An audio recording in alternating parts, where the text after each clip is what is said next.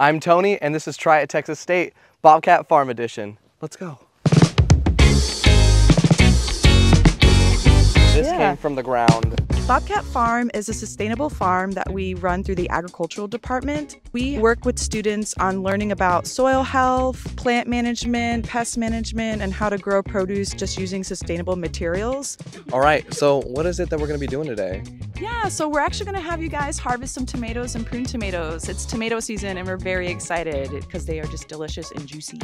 I love tomatoes. I'm so excited to get into this. Here's one. You can pick this one if you want. okay, how do I go about doing You this? just pull it off. Just pull it off? Yeah, there you go. Whoa! You can eat it. Yeah, you can pick all these yellow ones over here. Yeah, you can eat it. No clickbait. That was the best tomato I've ever had. in my life. that was so good. Thank you, Bobcat Farms, for having us out here. We love you so much. Slay hard. Eat 'em up, cats.